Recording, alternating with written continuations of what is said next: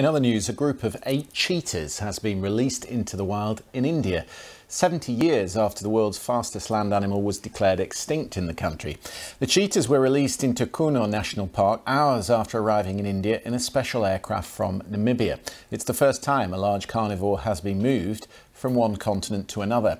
But critics warn they may struggle to adapt to the Indian habitat. The BBC's Nitin Srivastava has more. India has had a long history of cheetahs from medieval times to the Mughal emperors, they used to be a royal escort in hunting expeditions. But in the 18th and 19th century, they themselves started to be hunted. One of the reasons given for their extinction.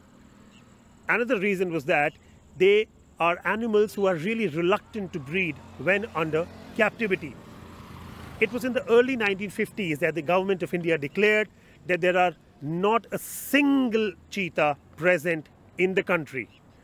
But now there is a lot of excitement in the country 70 years after they were declared extinct. Eight cheetahs from Namibia have arrived, eight more are expected to be here from South Africa.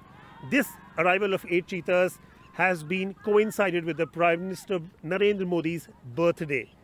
But there still are some important questions which remain to be answered. These cheetahs, they were bred and they have come from Africa. They are now in a central Indian park where they will eventually be exposed to more than 150 leopards and bears and all animals for their survival. For now, they have been kept in quarantine zones. They are being monitored by drones. They have radio collars in their necks, and there are more than 400 people to watch their movements. But all that only for about 45 days, after which they will be gradually released into the jungle and left alone to fend for themselves.